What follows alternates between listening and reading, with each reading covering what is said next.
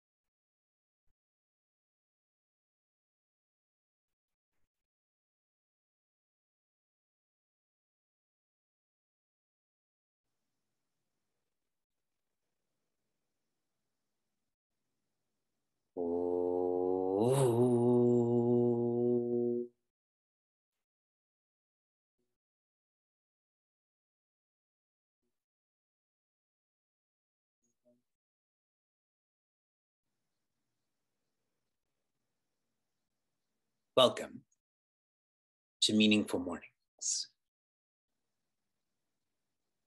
Steadiness is preciousness.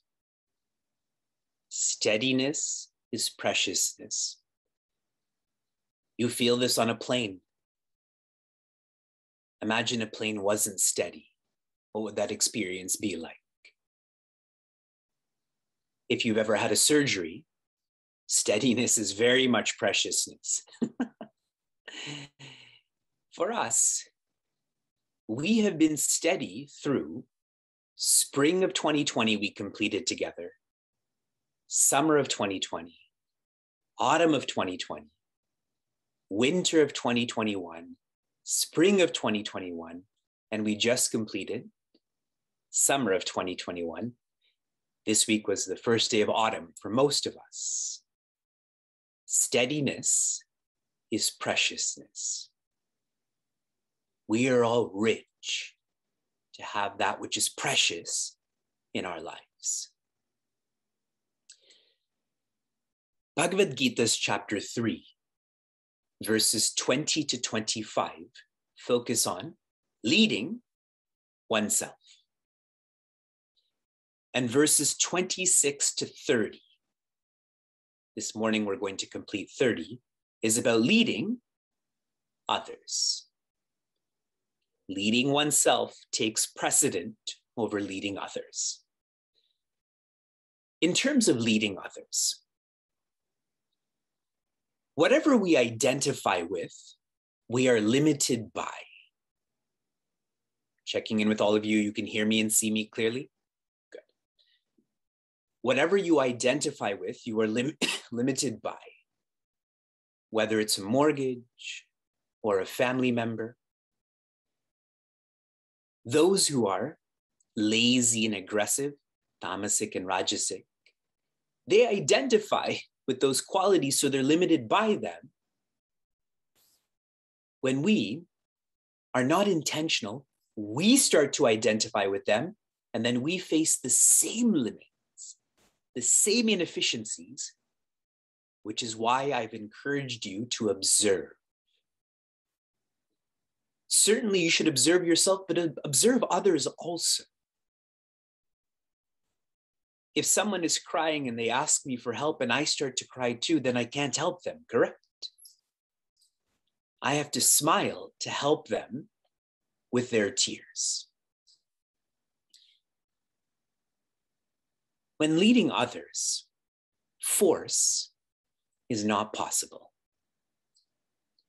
A couple of evenings ago, we had a parent teacher interview for Vyasa and his teacher.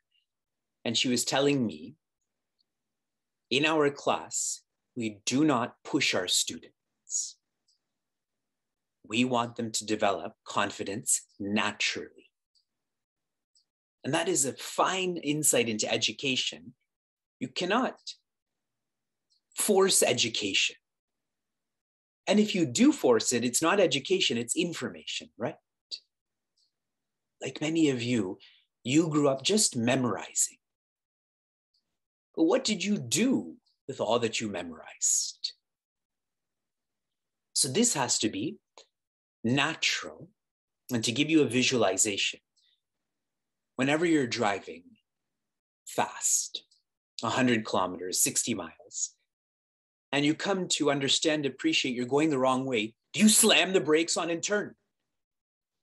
Your car will flip. You'll hurt yourself and everyone else. So, what do you do?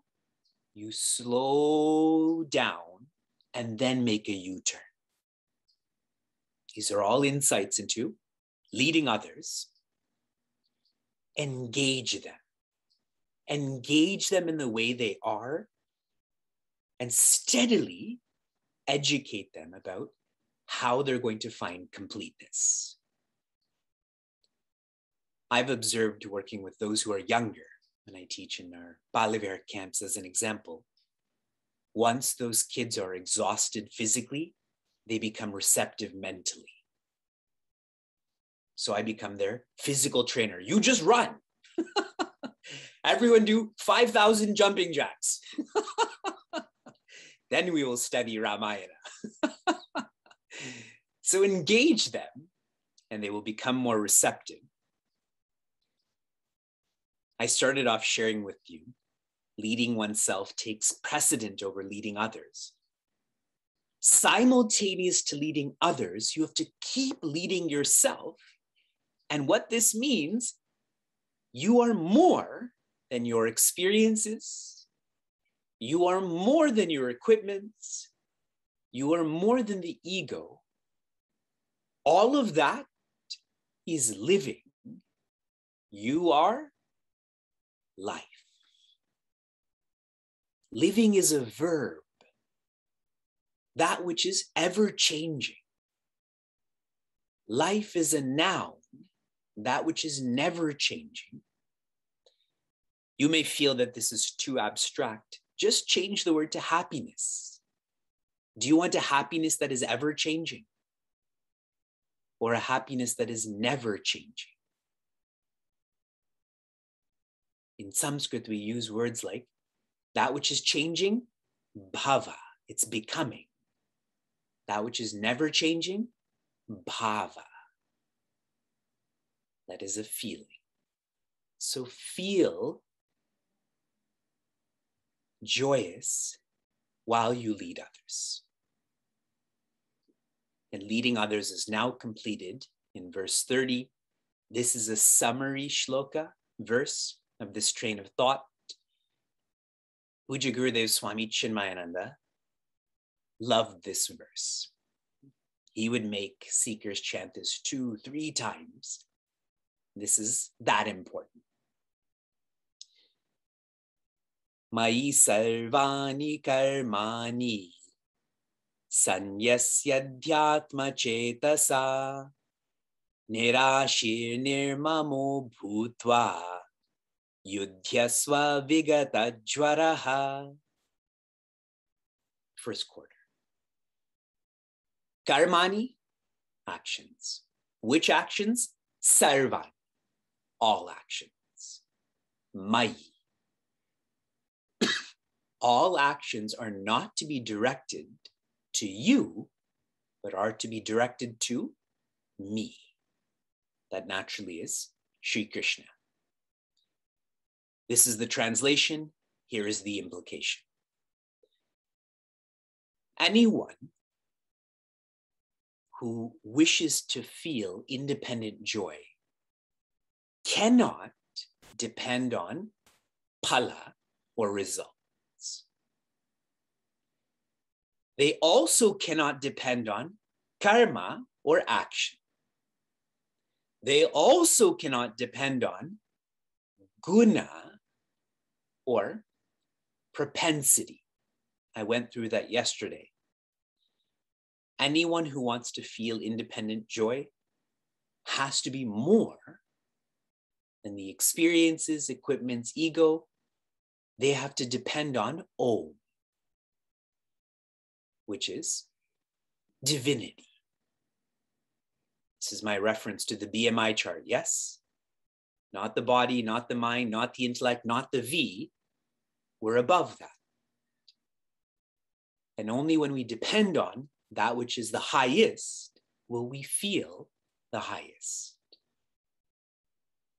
How to do this? Sanyasya, which means to let go. Adhyatma chetasa, let go of the dependency of experiences, equipments, and ego by holding on to Mayi, that is Sri Krishna, Adhyatma Chetasa, with your whole being. Chetasa does mean mind, but this is qualified by Adhyatma. Adhi means relating to. Atma means that which is closest. This is the translation. The implication is hold on with your whole being to the divine. And when you're holding on so tightly, you will naturally let go of any external dependency.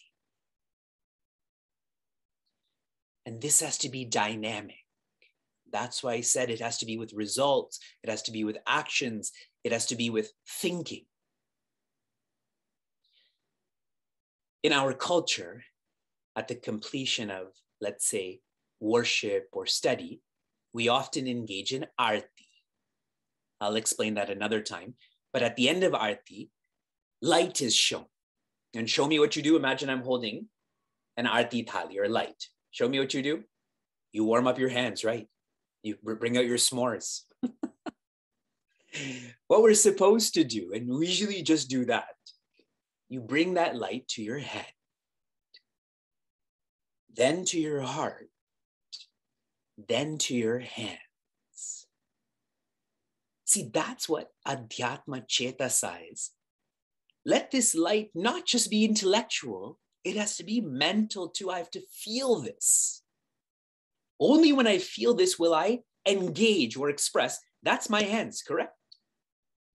I do so much with my hands. I write, I type, I clean, I cook. It's my hands. That's that expression.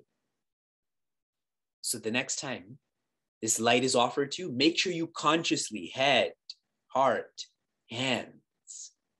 That's Adhyatma Chetasa. Sri Krishna keeps on zooming into this message. So practical. The third quarter, Nirashihi Nirmamo Bhutva. Bhutva means be.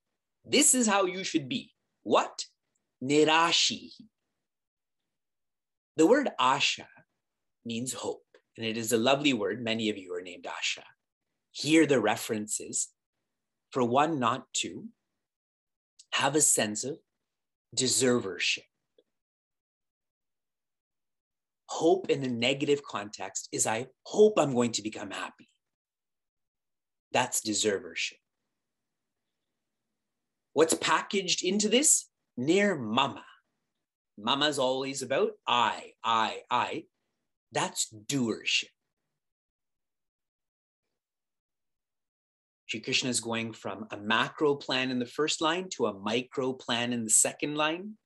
How can I hold on and let go? Let go of deservership, doership. Shared differently, deservership is future oriented living, doership is past oriented living.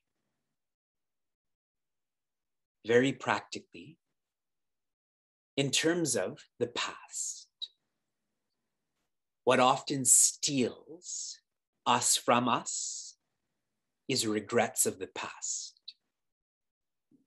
So, what should we do? Learn from the past. What steals us from us also in reference to the future, it is anxiety. So, what should I do? Plan for the future. This learning and planning helps me to tune into the present. And when you fully tune into the present, what do you feel then? Presence, that independent joy, that Sri Krishna. Vigata Jwara, letting go of all that you are not, Yudhyasva. For Prince Arjuna, that is fight. For us, that is engage. Engage in life. Engage in living. Engage in your responsibilities. More to be shared when we continue on Monday. From inspiration to application. Your application on Tuesday was to go from accepting to adapting to observing to enjoying. That's the sequence that we should be engaged in in regards to leading others. First, accept them, then adapt to them, subtler than that, deeper than that, observe them, enjoy them. I was reading a reflection from Vishal from Toronto, and he was sharing unless one is intentional, one won't get to enjoy, correct? This doesn't happen automatically. Your application from Wednesday was to come up with three practices to check the ego. Different than what I shared with you. And the point in this is are you following this? Are you following this? And I was reading a reflection from Jagdish from Mumbai. And he was sharing one way to check the ego is mingle with all types of people. Mingle with all types. Your application yesterday was to share a reflection on Chinmaya Mission Niagara's website, and lots of you did. I read through every one of them. Some of you did it minutes before Meaningful Morning started. to come to unity, the word community means come to unity. This has to be a comprehensive experience. It can't just be with me, it can't just be 15 minutes. This has to be daily. I was reading a reflection from Kathy from Valparaiso, and she was sharing the only insecurity we have in our lives is when our mind makes us unsafe physically we're all safe. It's the mind that makes us unsafe, correct? Your application for today, I now want you to come up with a leadership list, but not about leading oneself. This one will be about leading others. So that is verses 26 to 30, five points. Shanti, Shanti, Shanti. Be safe, be sound, be serene, be happiness.